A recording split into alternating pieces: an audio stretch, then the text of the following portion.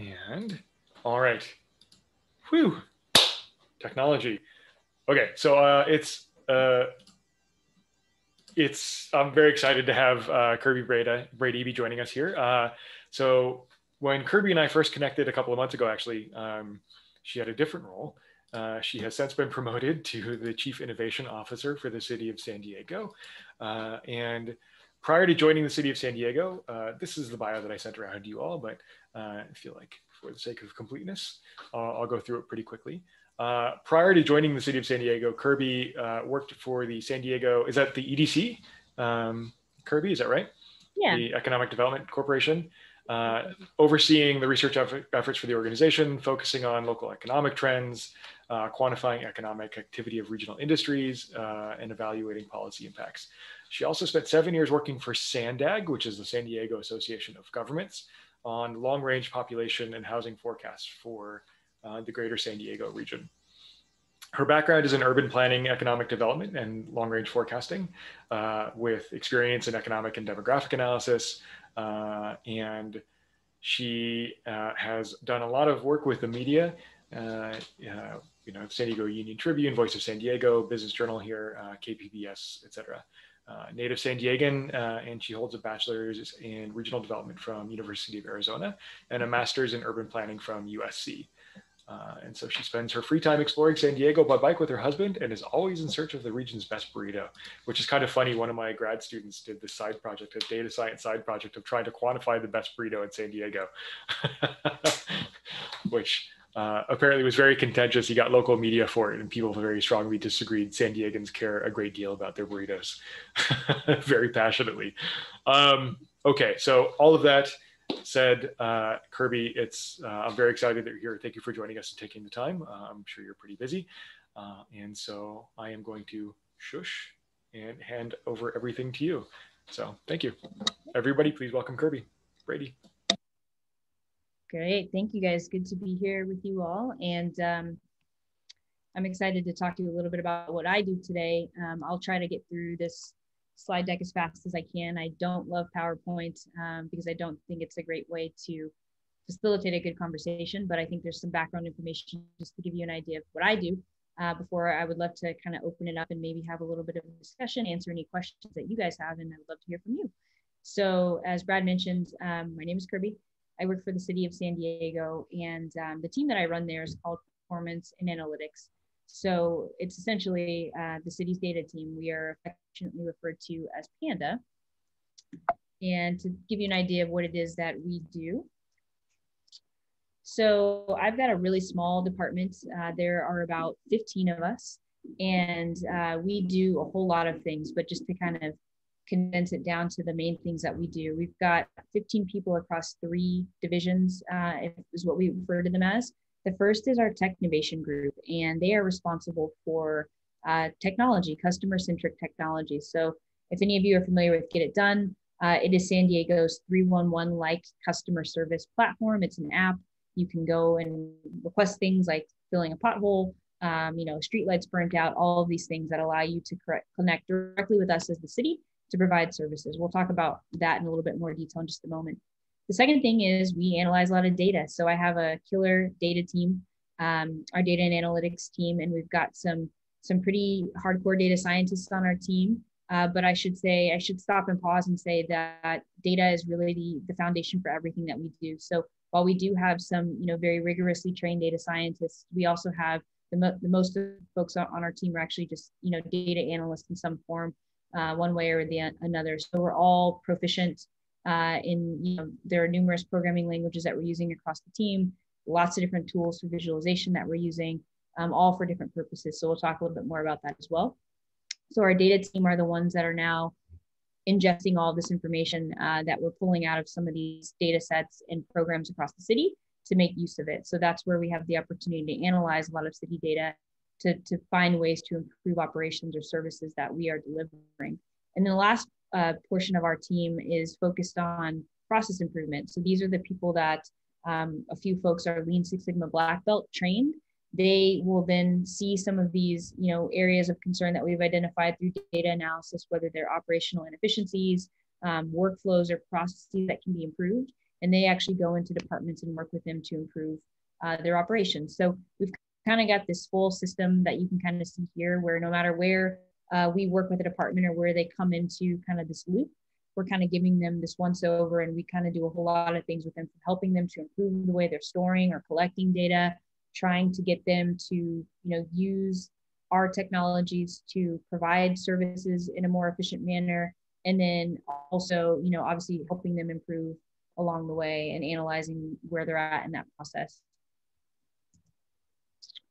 so as i mentioned just a moment ago i think most of what the public knows us for is get it done. Um, started as a pilot program back in 2016 really not a novel idea. It's just saying hey we should give the public a way to interface with us directly through technology. Uh, so if you are a resident of the city of San Diego or a customer, if you're doing business with us, it's really just this, you know, simple idea that you should be able to go to one place for all of your needs. If you're trying to get a permit for your business, um, you shouldn't have to be poking around on our website to get to the development services department. Or if you're trying to get a pothole filled, you shouldn't have to be poking around looking for our transportation department. It's just you should be able to go to one place to do all of these things. So we've continued to grow this platform. It started with just um, one department and a handful of services. It used to be referred to as the Pothole app. And now we've got over 10 departments, city departments, and services, over 50 services that we're providing through the app as well. So here, just you can see kind of what we refer to as those functional areas. These are the departments essentially that we're working with today. So you can see it really kind of ranges from everything from passport appointments through the city clerk's office, um, all the way to on the right hand side things like transportation. So again, streets, um, you know, potholes, that sort of thing. Um, in the middle, parks and recreations, public utilities, even police. So there are certain services that we provide on behalf of our police department through the app as well. And I think the fun part of what we do is really when it comes down to analyzing the data that we that we have that we're collecting. So this is where I really want to talk about the, the power of being the keepers of all the data that comes into the city. So um, again, because we're working with so many departments, I told you about Get It Done not because it's a wonderful app and we're doing all these cool things with it, but it's really because of the fact that every time we're providing a service through Get It Done, whether it's any of the um, services that you just saw on the previous slide or um, anything else, we are actually creating a, record or a data point for that service. So now we're talking about all of these transactions that we're capturing um, every single day about city services that are provided. So of course, the, I'm I'm blown away by the fact that now we have so much opportunity to start to investigate, um, think of ways we can even use the data that hadn't been thought of before, ways to improve, or even doing what um, our, our data and analytics team does, which is uh, maintaining our open data portal, which is you know, cleaning and processing our data and putting it out in a usable format so that students like you or anyone who's interested in civic innovation can pick up on our data sets and do big things that we didn't even know were possible. So there's also an opportunity to engage folks um, to help us solve problems that as government we're not always able to solve on our own. So this particular map that you're seeing here, again, not the, the greatest map ever, but to take it to show you what you're looking at, um, this is a, a screenshot of a Tableau dashboard that we had created for our neighborhood policing department. And so they're responsible for uh, responding to calls of encampments in San Diego. And so we had, uh, after launching this new service type of encampments about a year ago, um, a year in, we realized we had all this information uh, about where encampments were popping up across the city. And so when you have an encampment, for instance, um, there are two types of uh, responders to that particular report. One would be neighborhood policing, and they come on site to help address any people that may be present. So people experiencing homelessness, maybe needing services of some sort, neighborhood policing will respond to that. Uh, the second responder would be the environmental services department. They're going to come out because they're going to address any abatement issues if there's debris, if there's um, you know things that need to be moved out of the street, out of the right of way, out of canyons. They're coming to do cleanup. And so here's an opportunity for us when we started varying marrying this data together, seeing ways for us to improve. And immediately, the first thing that we found, just this isn't even by looking at the data, this is just us looking at the process, was that neighborhood policing would go out and environmental services would go out separately. And neighborhood policing does their job to talk to people. Um, and if people are there, they can help out and, and do, do something. If people aren't there, it's only for environmental services But what would happen is we would see neighborhood policing go out first. They would help address any issues with people that were present on site and they would leave. And then environmental services would come out and they would find that people had since returned to the site. And then environmental services actually can't do any abatement or cleanup if there are people present. So the first thing he says, it makes a whole lot of sense and you would save a lot more money and time for the city if you guys just went out together and handled these issues at the same time. Um, what we're moving here and what you're seeing on this map is actually now using the data. So what we were able to do after a year's worth of collecting this information was to take a look at where we're seeing hotspots. So of course, this is just kind of at the aggregate level, looking at these hotspots uh, for you all to see kind of where we were seeing the, the highest reporting um, incidences of these encampments. But now what we're looking at is moving into a more predictive space, which is now we know places where they're likely to pop up over based off of a variety of factors, um, data points that we're collecting through the reports that are coming in, either through submit people that are submitting the reports or through environmental services and police who are actually providing additional details when they complete this work. So now what we can do is move to a place to say maybe there should just be some sort of regular kind of cleanup in these areas or regular sort of patrol in these areas. This should inform the routes that we're taking um, to actually address some of these issues. So that's kind of just one example of how we're using data to really inform those operations. A big part of what my team does is also providing some insight to department leadership. And so our job is both fun and challenging because we work with a, a lot of folks that are not data minded um, we have to not only provide them ways to engage with their data, but then we have to do a lot in the way of explaining to them or educating them about what the data is telling them. So this is the part where um, soft skills really come into play. Um, I have a really talented and sharp team, and they love to create all these, you know, super fancy dashboards, and you've got all these filters and all these things, and their automated reports are fantastic. But then you sit them down with an executive, and they, this executive has no knowledge of anything going on you know they don't care about the database. They don't care about you know whether this was done in python or whether you you know are using r or stata. Like what they want to know is how this informs their operations. And so this is the part where you know i'm cultivating with my team the ability to not only create these wonderful tools and resources for other people but then also explain to them why these things are important. What is the actual operational insight that you know this department director or the mayor should be paying attention to so here's an example of um, on this particular slide, nothing fancy. These are actually um, charts that I hate. These are standard charts uh, as they come out of Salesforce, which is the backend for our Get It Done uh, platform. And so we don't really have the ability to do a lot of customization. But the point is, we spend time setting up reports that are tailored to our different audiences.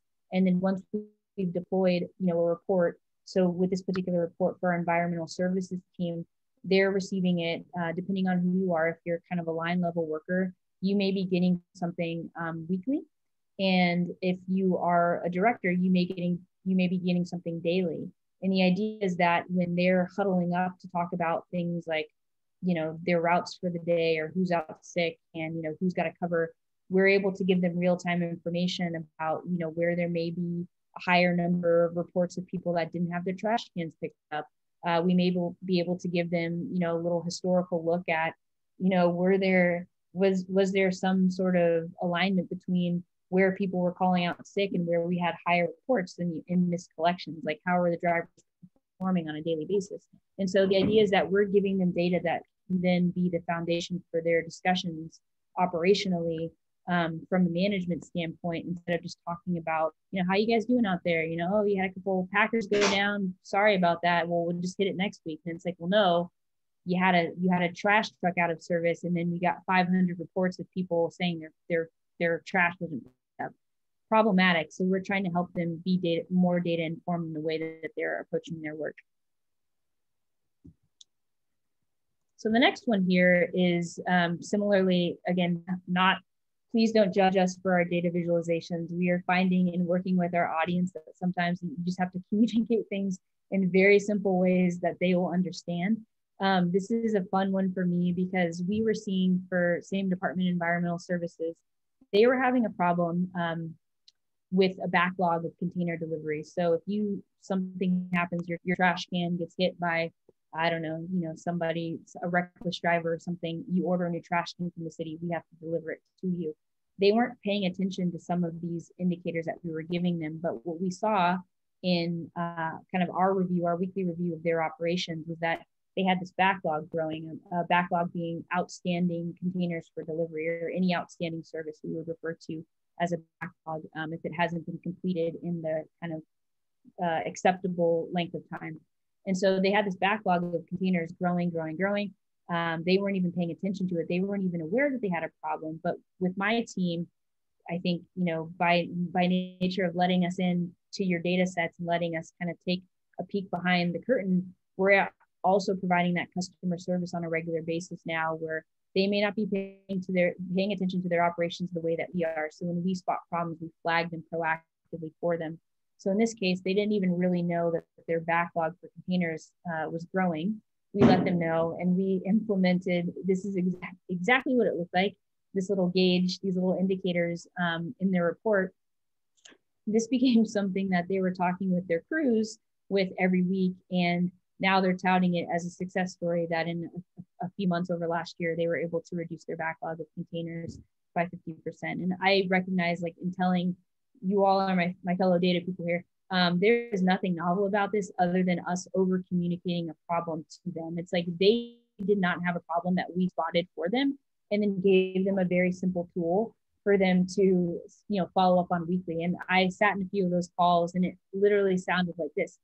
Guys look at how great we're doing. Look we're actually moving the needle. Like these are the things that it's really sometimes that simple to get people to address a problem. So just a fun example of you know sometimes it doesn't have to be overly complicated um, report or tool that you're building for people. It just takes calling out the calling something to their attention what we refer to as relentless follow-up. So we have another section. I mentioned sort of our um, performance management section which is our our process improvement folks and they do some really interesting work because they're actually going in again and um, working with departments to improve their operations. Once we find some of these areas of concern, again, we can see all these things coming in through the service data that we're collecting. Sometimes it's really speaking to an inefficient problem. So for us, that could be looking at the ways that trash truck, you know, the drivers are out running their routes. And so we found through like looking at some of their GPS data that we were seeing these, you know, really inefficient routes that uh, delivery drivers had been, had, or sorry, uh, trash truck drivers had been um, taking and we found out it was because there was something that was preventing them from making kind of these like left hand turns in the street, like some design stuff. And so sometimes it's like, why are you driving, you know, 50 to 100 extra miles per day?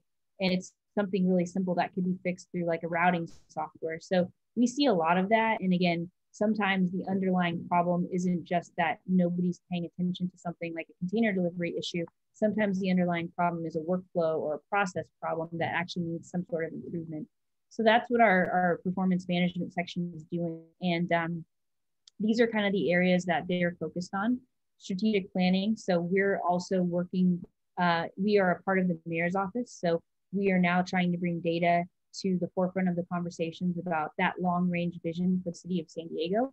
This could be, you know, our services that we deliver, how we're providing, um, you know, how we're how we're how we're making our decisions or resourcing uh, decisions for things like um, parks and recreation, library hours, et cetera. Data is at the com- at the forefront of the conversation for that. Um, equity, that's a huge issue for everything we do right now. Is how can we build in indicators around equity for everything that we're doing? So that is always the lens that we're viewing ourselves and measuring ourselves against. So you see all, those things here, kind of um, all the way down to motivating culture. We deploy surveys uh, to city employees. We spend a lot of time doing survey design um, to provide some insight to leadership, to the mayor, to the COO uh, about how employees are feeling. And so we're always doing things with and through the use of data um, continuously monitoring, doing things in the way of, you know, not only collecting data, not only analyzing data, but then also, you know, targeting uh, specific initiatives, specific priorities, and kind of doing these deeper analyses to understand what's going on behind the scenes. So this and start here. Um, one example of what we're working on right now in this uh, in this team that's working on this process improvement work is called balance scorecard. And so this is again nothing revolutionary, but you'll you'll probably know these things commonly referred to as KPIs, key performance indicators. This is just saying, hey, we should kind of like baseline where we're at today um, in terms of how we're providing services or what the volume of services we're providing. Uh, and then we should have, you know, some way to track and measure these things over time. Like, are we meeting uh, our objectives? Are we, you know, satisfying our our commitments and our promises to the general public? Not um, not not novel at all, but something that the city of San Diego didn't really have a good handle on. Uh, there's no, I like to say, there's no way for you to really improve uh, unless you know where you're at today. You can't really do that without measuring uh, where you're at today. And I think there's a more concise quote uh, getting to that same effect from um, our friend Mike Bloomberg. So he says something similar, but um, it's just, again, the recognition that data should play a role in not only helping you understand where you are today, but where you want to be in the future, and then figuring out how you're going to get there. So now for the, I think some of the really cool stuff that we do on our data and analytics team, um, this is talking about on this on this slide here, you're looking at a chart that's um, trying to kind of give you an idea of how we're approaching our work with regards to streets. So um, for the city of San Diego, you know, we've got thousands of miles of collectively of roadway.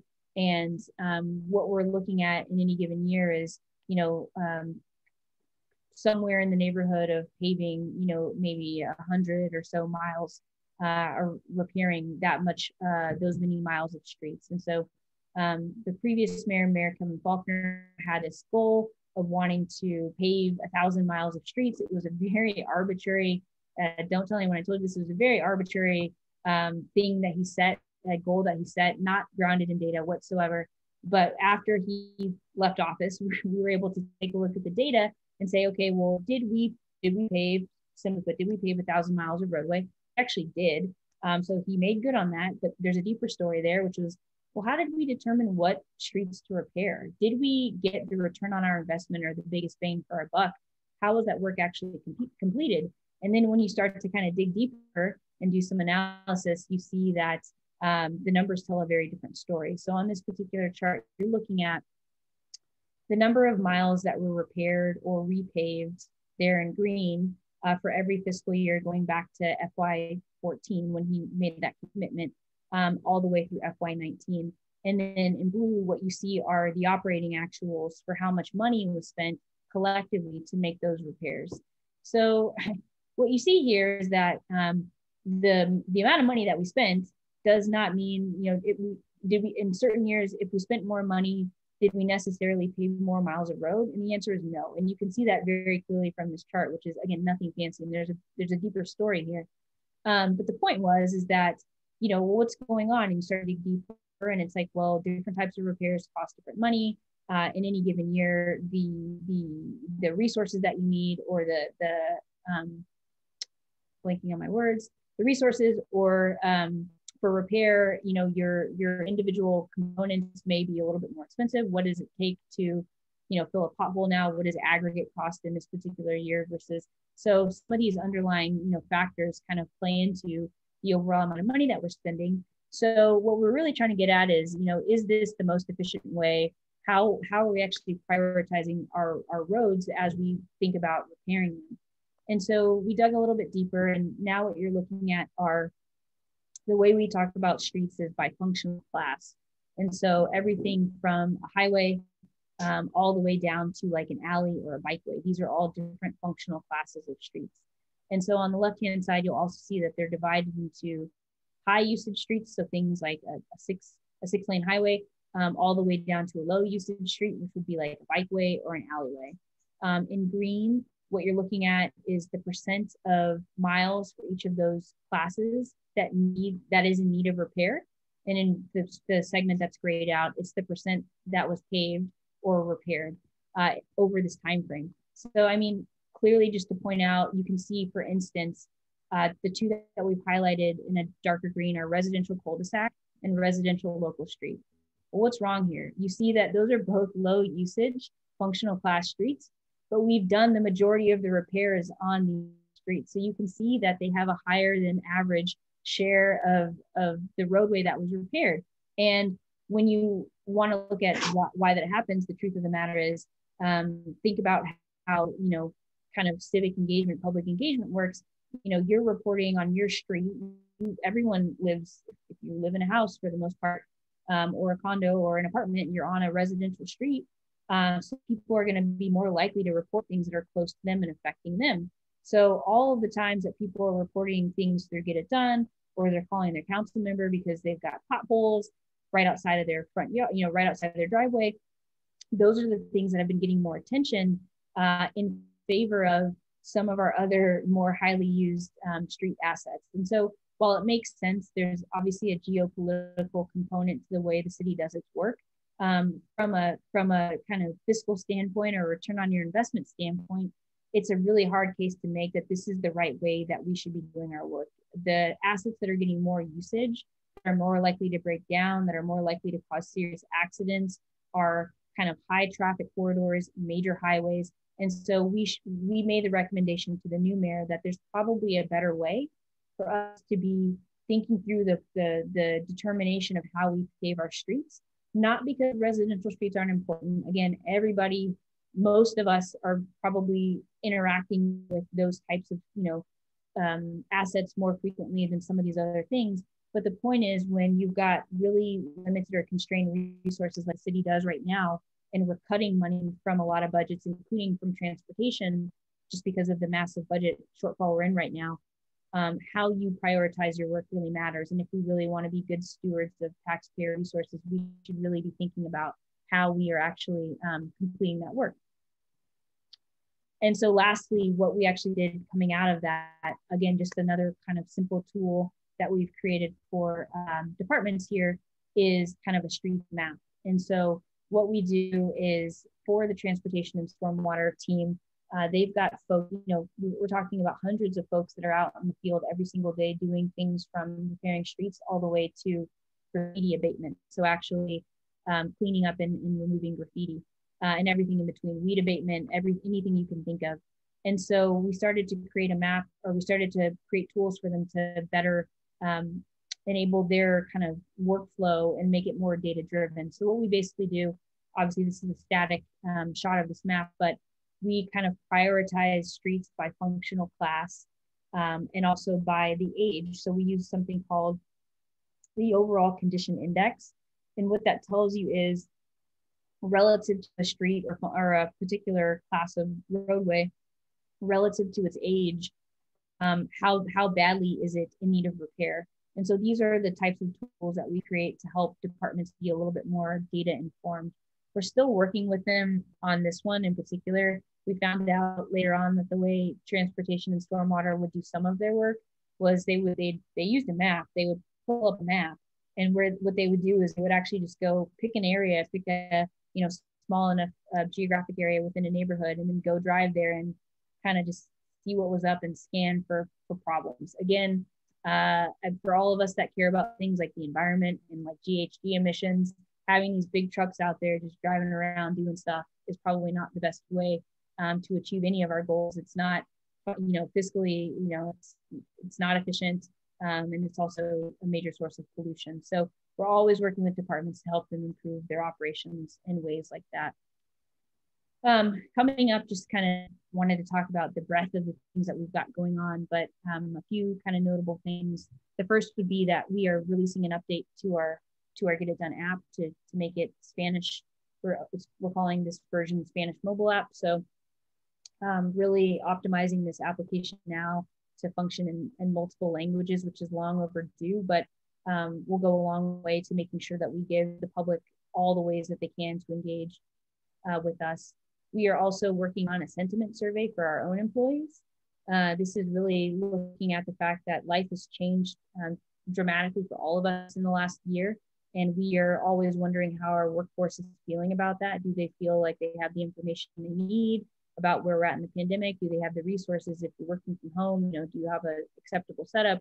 How would you feel about coming back to the office? What would it look like to you if it was mandatory to get vaccines? All of these things. Um, this is actionable data that our department leadership will benefit from greatly. We're doing a pay equity study. So this is a, we actually just concluded that, a historical look at the the the pay gap along race and ethnic and gender lines for the city of San Diego. It had some really interesting findings that there is very much still a pay gap. Um, we can explain most of it. There's about 88% of it that we could explain. The rest of it was due to bias. Um, not necessarily intentional bias, but there was an unexplained portion. Um, so, you know, in academia, the, the bias is the, the remaining piece of that there. And then we're doing surveys around diversity, equity, and inclusion. And so this is now thinking about where we're headed as a city. Uh, do people feel like they can show up to work as their true authentic selves? And are they supported in, you know, who they are? And do they feel like they can present as such and, um, you know, get the, the respect and kind of dignity that they deserve? So there's a lot that we're doing um, across all of these fronts and goes beyond you know just you know some some sometimes great sometimes mediocre dashboards it's really now moving the city to a place where we're trying to drive some of that change in the short term and in the long term. And it's happening kind of all in the way of being informed um, with and through the use of data. So um, moving forward we've got some some bigger things that we're looking to pick off. The city of san diego doesn't have a centralized customer service um, customer service kind of resource or um, you know, like a call center of any sorts. And so we're finding ways that we can help departments be more responsive uh, to inquiries that they're getting. Again, all for the sake of providing not only a better customer experience, um, you know, for the inquiry, but actually providing better services overall. So probably something that it's odd that your data team would own that, but we are really kind of sitting at the top, looking across all these departments, looking at the bigger picture holistically, how all of these things fit together. So we figured we would just insert ourselves into that conversation to to make sure that the residents in the in the in the citizens of San Diego have a better experience when they're interacting with us. And lastly, I just wanted to talk about, I'm not going to read the words on the page, but just some other things we're thinking about and would love to kind of open it up to hear really questions or thoughts or suggestions from you all. But you know, we're really primarily focused on where are there gaps in decision making where we think that data can play a valuable role.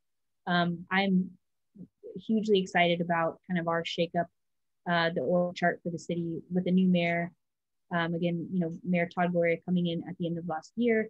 Uh, we were moved to a new position in the org chart for the city where we report jointly directly to the mayor.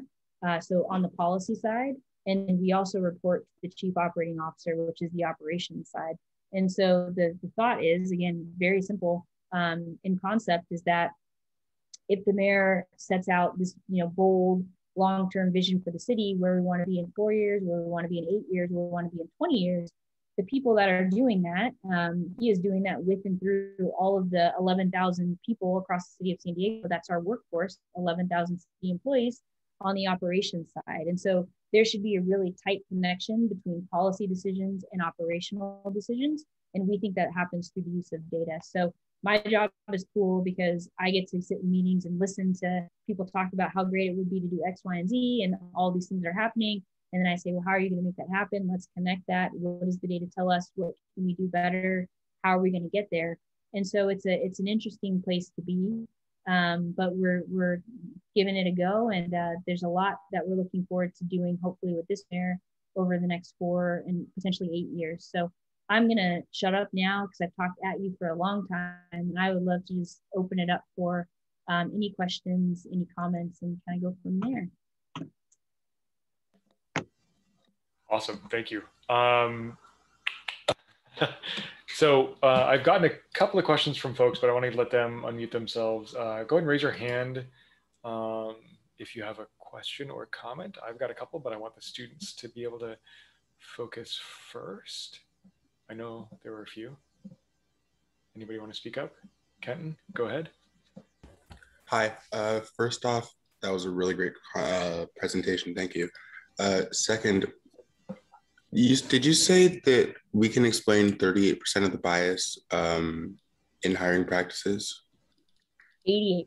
So yeah, our findings were there is for pay for pay for the city, uh, there are pay gaps and there are pay uh, disparities between um, uh, for simply white and minority folks across the city, as well as for females, males and females across the city. Um, and so, yes, with the study that we found, we were able to uh, explain the source of about 88% of kind of the the those underlying factors contributing to the pay disparities at the city. If it's okay for a follow up, what counts as an explanation for those kinds of things? There's actually a, the first, we can, you want to take it uh, real nerdy, we can go get real nerdy on you. So the first, the biggest piece of the gap was explained by something called occupational sorting. So um, occupational sorting is really the recognition that um, people choose to take certain jobs over others. Um, there may be reasons why. There may be you know societal factors or barriers, but uh, for the city of San Diego, there are three job classifications that represent more than 40% of our total workforce. It's police, police, uh, fire, fire recruits, and then clerical or administrative assistants, so admin aides. Those three occupation groups account for, again, more than 40%. So the, the reason why that's important is because if you look at police and fire, particularly police, that's a much more highly paid occupation group than clerical or admin assistant. But what you see is that the profiles for people that are more likely to occupy those jobs are also very different. So there are more sort of an overrepresentation of white males in police and fire and an overrepresentation of women and people of color in positions like admin or clerical assistant. And so just because you've got these overrepresentation of these two groups uh, across these, you know, one highly paid and one lower paid uh, job classification group, what you see is that due to this occupational sorting, that is contributing uh, a substantial amount of, of the explanation. That's one of the major explanatory variables for the the gap in pay for the city of San Diego. There were a couple other ones, but that was the biggest one. The next one was um, parenthood penalty. So similarly, um, you pay uh, not a penalty as in you know you, you someone's taking money away from you, but just again in the academic sense that when you look at the numbers, um, women, particularly um, you know women of color, you can expect to earn less in your role once you have a child and there are reasons for that but that is another explanatory variable for that pay for that pay gap. And then the last one was overtime. And so what you see is that there are certain occupations again back to police and fire um, that are more likely to take overtime sometimes it's mandatory overtime but when you take additional hours that is additional pay that then factors into your total compensation um, as an individual. And so that's another piece that's explaining the pay gap is that there are certain occupations that people are taking or consuming more overtime, boosting their pay. And so those were the explanatory variables. Now, within that, uh, it's not to say that these things are okay. There are certain things that the city should and could be doing, uh, for instance, to increase pathways, you know, maybe for instance, finding ways for people to grow into new roles or to take a step up in their career from maybe some of these lower paid positions to higher paid positions.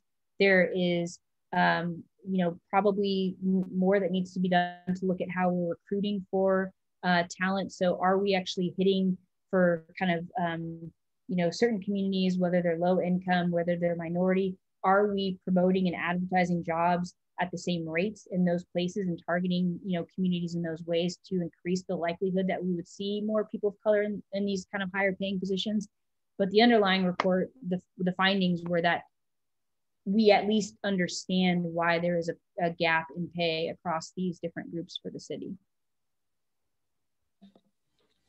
All right, thank you. That, there's an interesting chat going on about a class here at UCSD on economics of discrimination uh, that teaches some of this stuff. This is fascinating. Uh, the next one I saw was Gregory, and then Patrick, you can go after Gregory.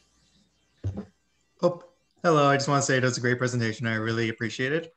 And so my question is about the risk analysis. So I know you mentioned that some of the roads were prioritized over others, but I'm also interested in knowing, was there a, a specific spatial distribution of which roads were maintained and repaired over others? Like, for example, the wealthier areas have more priority in having um, roads repaired and not, or versus uh, like less lower income areas? And if so, how can we maintain like a more equitable way of ensuring roads are repaired on a more uniform basis across the city? Great question. Uh, this is something my team and I talk a lot about. Um, so to answer your question, you know, directly, yes. there is a difference, and this is coming. I'll it'll come back to kind of this kind of geopolitical way that we do our work. You will see from the data and from the analysis that we did that you have more roads being repaired more frequently in higher income communities.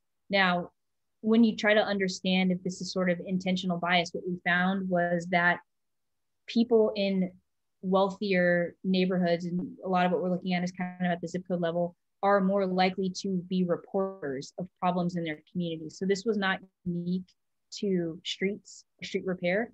This happens across a variety of other report types. And so to, to us, we're talking about this as a, as a data team and a technology team, how we are increasing public engagement and participation so that people feel comfortable contacting us in communities that might be lower income, in communities that, you know, maybe across the whole, either linguistic, you know, linguistically isolated, so language barriers, um, other socioeconomic conditions. But the, the point was is that the way that the work is prioritized for a lot of departments because they try to steer clear of being geopolitical reports come in and for like a streets the way that what would happen is as soon as something comes in it's sent out to the responding department and it just gets put into their queue and so they're actually for a long time they were just doing work based off of the order in which reports are coming in so you can see very quickly that if la jolla has got 100 reports coming in and barrio logan has got one you know la jolla is going to keep getting bumped up bumped up bumped up just because they're taking them as they come into the system. So we're always thinking about on the back end making sure that first and foremost you, can't make people report things but you we, we do have the responsibility to make sure that our technologies and our tools are as accessible as they can possibly be and understanding that different communities have different needs that are unique and based off of their own conditions and you know there are cultural considerations all of that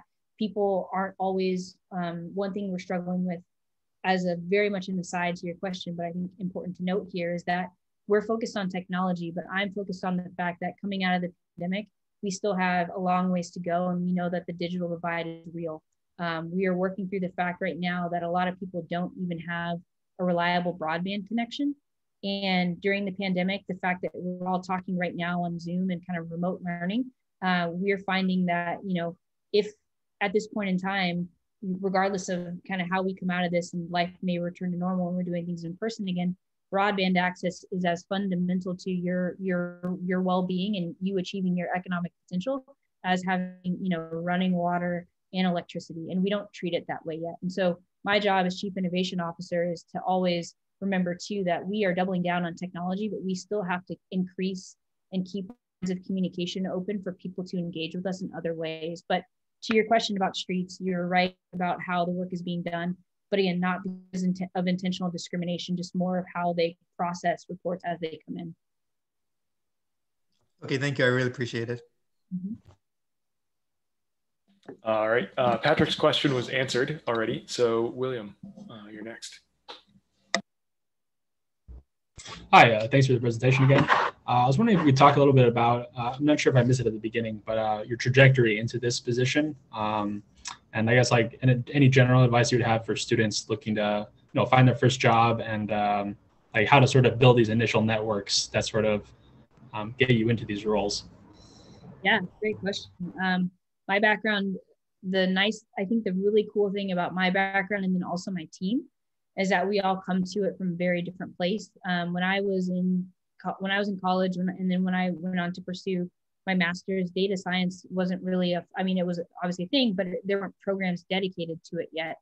So a lot of folks have come into it from different channels. I think in a lot of ways you guys are kind of ahead of the curve because it's in high demand and it's very important. But let me tell you about my background and then why i think it's important to sort of broaden you know your experience in terms of um, your classes or your you know any of the the other parts of your curriculum that that you're interested in um, I my background in in undergrad was in the geog department, so regional development, which is sort of a mix of um, kind of spatial studies, so GIS, but then also kind of like urban planning. So it's always my background has always been sort of in very much kind of placemaking or place-based context, just understanding how cities work, understanding that cities should be designed for people, uh, not cars, cough, cough. So really, I've always been interested in how to make the city a better place, how to make the world a more livable place for all people. um, I kind of doubled down on that in grad school and went through an urban planning program um, with a focus in demography. So for me, I've always been uh, very much interested in the data, excuse me, a very quantitative. Um, I went the quantitative track. So that's kind of how I found myself. Um, I'm particularly interested in things like migration and how, you know, labor participation, labor force participation and rates, all these things affect these macro systems like our economy. So I kind of went a more kind of, again, quantitative route to really be able to better kind of make sense of and analyze the things that I was seeing around me uh, in my community. Um, I then spent, you know, the beginning part of my career um, in, a, in a couple different jobs, but the earliest, you know, the, the biggest stretch was at Sandag, where I kind of fell into long range economic and demographic forecasting, which was, I mean, it's, you know, technically rigorous, but it was also, I really liked the applied piece of that. I was, you know, behind the scenes working to build models to predict the most natural or likely places for future housing development based off of things like employment centers and land capacity and all of these other things. So, um, you know, these really fun, nonlinear, simultaneous million, you know, equation models plus some gravity stuff, looking at where things are going to concentrate. So having the technical skills was certainly helpful there. And I sharpened that um, while I was working there. So that's where I really started to realize there's only so much you can do with an Excel spreadsheet. So that was kind of my, um, you know, way to fall into data science. And from there, it was, you know, taking, I fell in love with Python when I realized that I would sit for hours making these maps by hand and I could build a script to automate stuff. Like then I was just in love. I'm like, there it is. So, and then it was just more a whole lot of, um, you know, doing some more quantitative stuff on the job. So I had to go back and do refreshers and stats and, you know, um, you know, some other not fun things. And I'm not, I don't love math, but I understand the applicability of it. And you get to a point where you just can't avoid it. And so um, you put it all together and then, you know, you can do some other training for things like Tableau or Power BI and stuff like that to figure out how to package it. But like for me, my path was I had an interest in places, um, was more quantitatively inclined and then just got to places in my career where I had to continue to build my skills. And a lot of that happened on the job. Um, so that's a plug I'll make too. I think you guys are all thinking about your steps after school, but just recognizing that school never really ends. You'll be lifelong learners because that's just the nature of our economy. Um, and so today, now, you know, where I'm at, I'm at the city, and I would say my suggestions to get to the second part of your question or, you know, um, advice I would have. I, I try not to give advice because I'm just trying to live my life like you all and do the best I can. Not an expert in any of this stuff, but if I could give some advice, it would be um, make sure that while I think you all are probably developing um, all of your hard skills, I think I know the program is giving you a lot of that training. Just remember that when you get to certain points in your career, the hard skills are going to be important because you're going to probably be managing people and teams that are going to be responsible for doing that type of work every day. But it's really equally important to really hone your communication skills. And so I would say that where I've gotten into my career right now at this level as chief innovation officer, like I can tell you, I'm the, the worst programmer on my team. You know, I'll get it done. It's going to be hacked. No one, you'll never get to read any code that I write because it's super messy and you're going to tell me you could have done it better and more efficiently and less buggy, and that's fine. Um, but I can get the job done. I can have the conversations with the team about, you know, theoretically how things should be done. But then I marry that with the actual context. Like I sit in meetings with the mayor uh, weekly, and the mayor is very much focused on improving lives of residents and doing public outreach. And he doesn't care about anything that we're doing behind the scenes. He just wants the data and the information that's going to help him do his job better. And so it's kind of leaving all of that stuff behind, the scrums and all of the, you know, jams that I'm having with my team, and then being able to go with a handful of visualizations, presenting that effectively to the mayor that's saying, Mr. Mayor, in the five minutes I have with you, here's why this is important. Here's how it relates to a policy that's shaping up. And here's how we can support you moving forward. And this is going to help you achieve your goal because of this.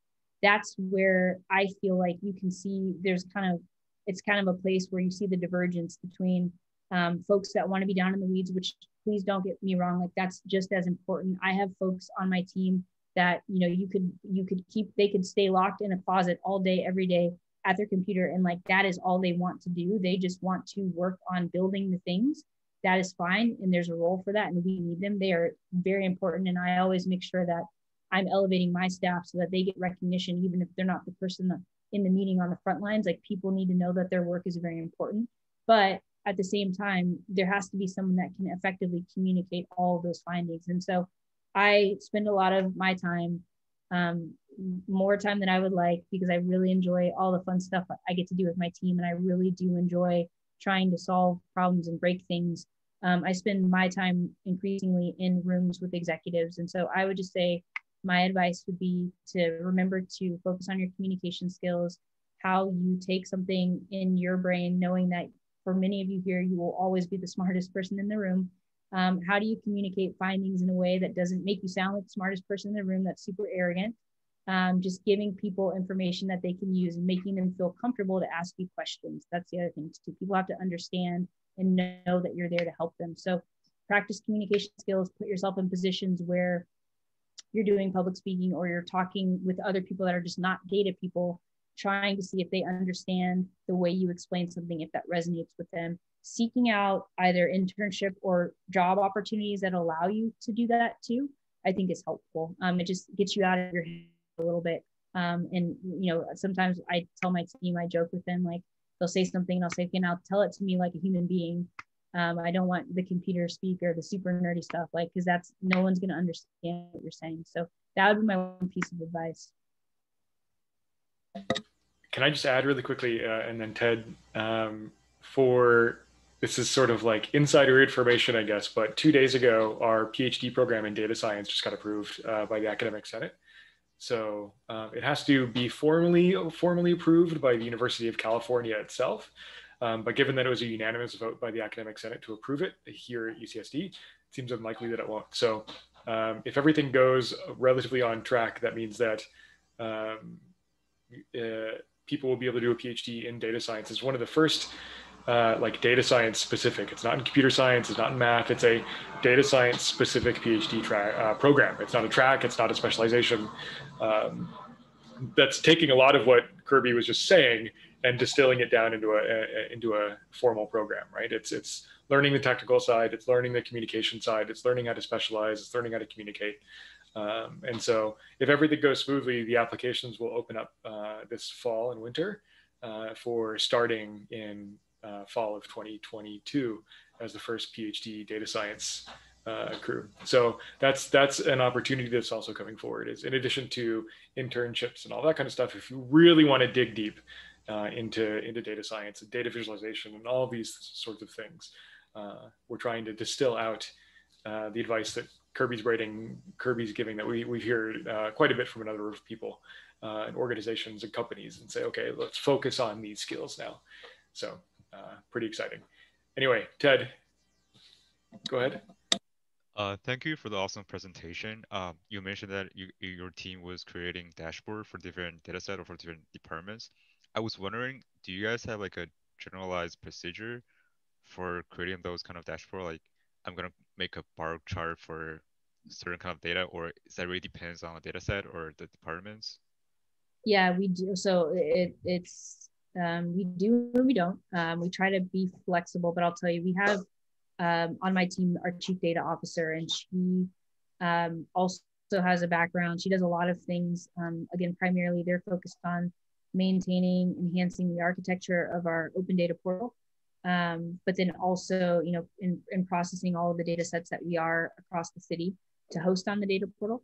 Uh, but she also has a background in journalism, so communications and UX design. And so she is always um, very acutely aware of, of ways we are presenting information. And she does have some standards for, and they follow, I think, you know, these, these aren't unique to us is what I want to say. I think there are some standards for visualizations, especially what types of charts to use and which types of context.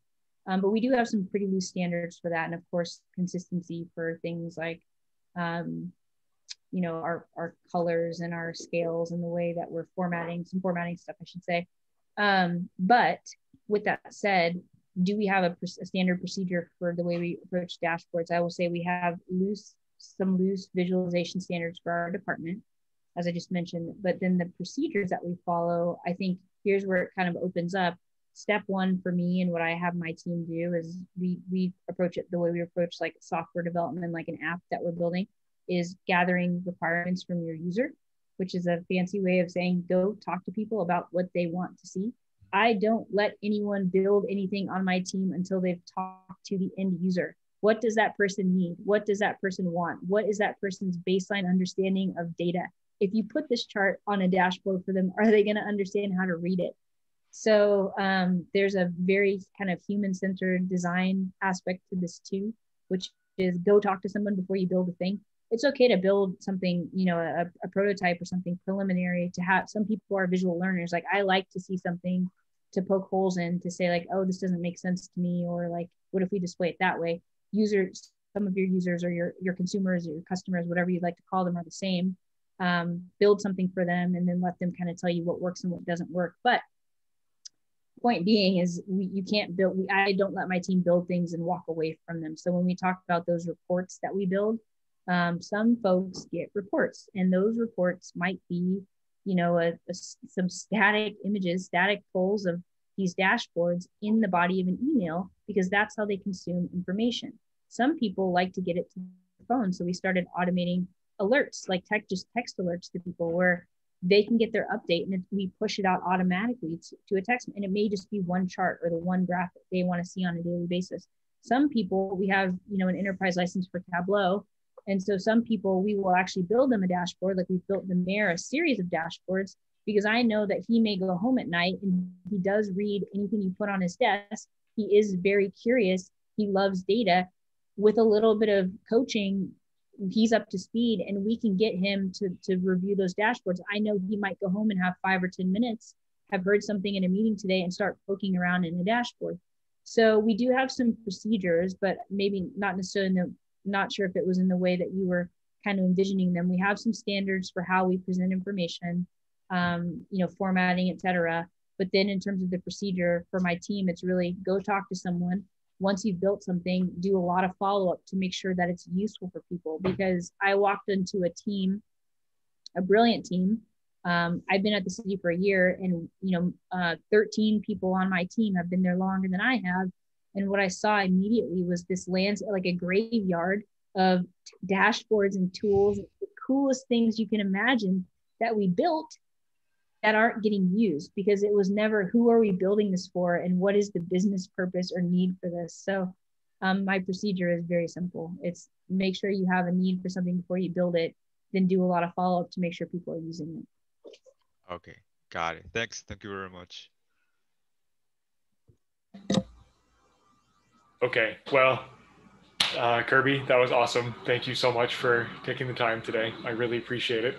Uh, we'll let everybody go here a couple minutes early if there are no more questions. And uh, I'm looking forward to uh, getting to sit down with you at HDSI and actually chat a little bit more about uh, collaborating. So it would be, uh, I'm looking forward to, uh, you know, I don't know if you're involved in it, but congratulations on uh, whatever data team is behind the vaccine rollout in San Diego. It's going much better than many other cities. um, we so, credit for that. We're trying to make it better. We're trying to make it better. yeah. Well done. All right. Thank you. And uh, thank you, everybody. I'll send out the quiz uh, in a little bit. And uh, that's it. I'll see you all on Tuesday.